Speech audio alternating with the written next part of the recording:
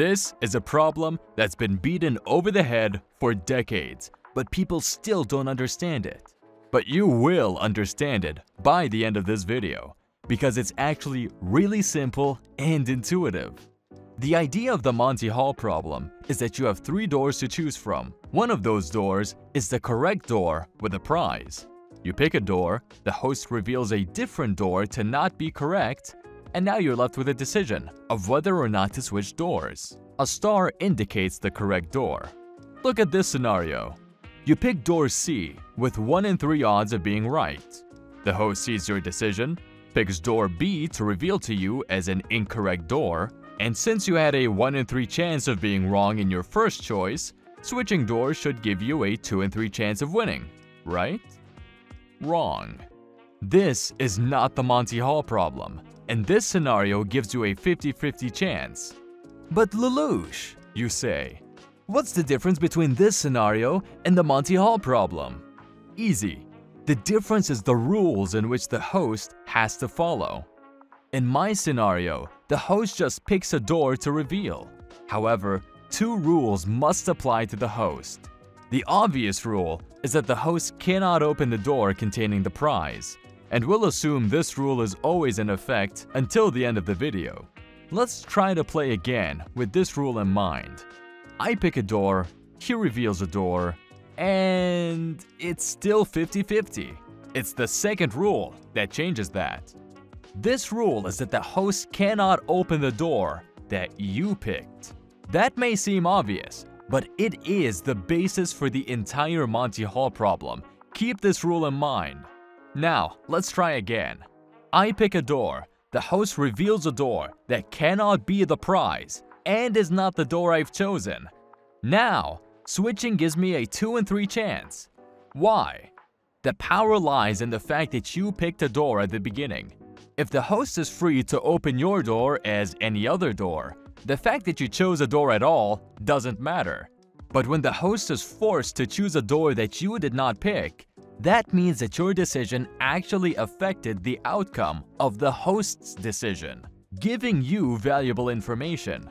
You may ask, but Lelouch, none of your scenarios before did the host actually pick the door you chose, so what's the difference? You're right, but the devil is in the details. First, let's analyze the situation if the host can in fact reveal the door you've chosen. When you pick a door, whether or not your door was correct, the host has two doors to choose from, the two incorrect doors. In this case, his decision is not affected by your decision.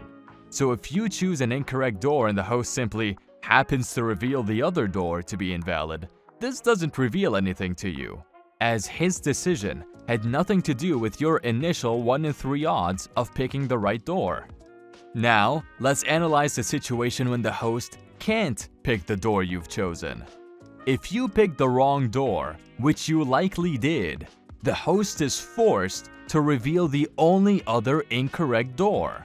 Essentially, if you're wrong, which you had a 2 in 3 chance of being, then the other door is correct. So you're counting on your initial decision being wrong. If you run through the scenario 100 times, the fact that the host can't reveal the door you've chosen will affect his decision making about two-thirds of the time, which is the amount of times you'd probably pick a wrong door. Picking the wrong door means there is only one door the host can reveal to you. The other third of the time, it won't affect his decision making because you'll have chosen the correct door that he can't reveal anyway. Let me repeat that. If your first decision was wrong, the other door must be correct. The odds you were wrong are 2 and 3. That means the odds the other door was right is 2 and 3. This is only possible because the rules force the host's hand in the matter. Choosing the wrong door forces the host to reveal the only other wrong door. So in this situation, you're hoping that you chose the wrong door, and you most likely did. That should reveal to you that since you're wrong two-thirds of the time, which forces the host's hand on what door he can open, that two-thirds of the time, switching leads you to the correct door. However, when the host is not bound to this rule, Even if they choose to reveal a door other than yours, it was not a forced decision, meaning you can't obtain any information and the odds are 50-50. Here's the program, don't get overwhelmed. This is a random number generator. This is our list of doors. I've scaled the problem to 100 doors to exaggerate the percentages.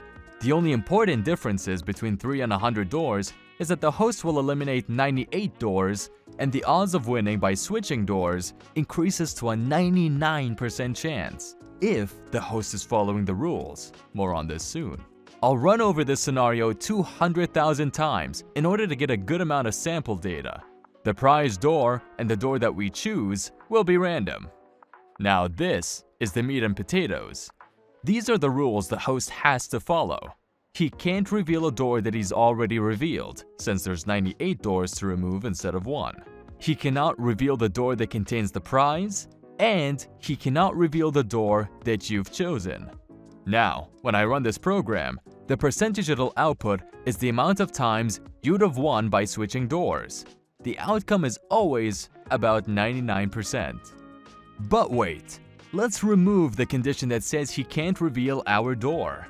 If your door is revealed, the decision of switching is out of your hands, so we'll only keep track of the number of times the host, by pure chance, happens to not reveal your door.